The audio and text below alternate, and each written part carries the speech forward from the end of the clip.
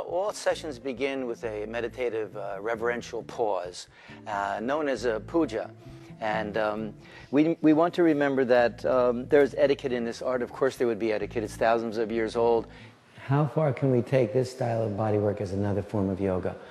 It's, assist, it's known as assisted yoga. And on the tummy like a flower petal resting on a pond, like a leaf resting on a lake. Two considerations. One is mula bandha, to contract uh, the uh, perineal area, the pubococcygeus muscle.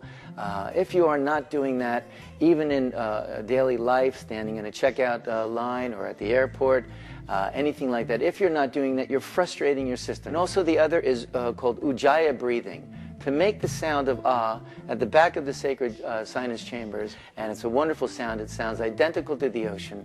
It sounds identical to the to, to the wind. So we can enjoy that as a mantra, and it will make us very very sensitive. Um, how is this benefiting? yoga teachers and uh, private yoga practitioners across the country. The yoga instructors now have something more to add to their private practice, to their routine.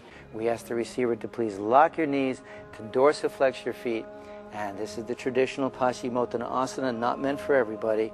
And of course, I always wanted to be respectful and honor any kind of limitations like that. Three times, just like so.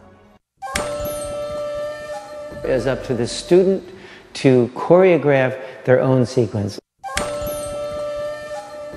Okay, it begins with breaking bread over the wrist and certainly over the palm. Don't even use your thumbs, use your Venus mound. I just lean up and draw the person with me like so. Okay, three times back and forth like so.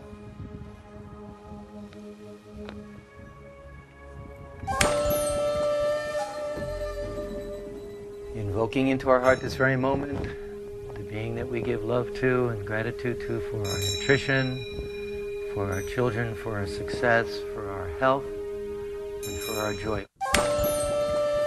And the next procedure in the paradise sequence is called the posterior leg stretch.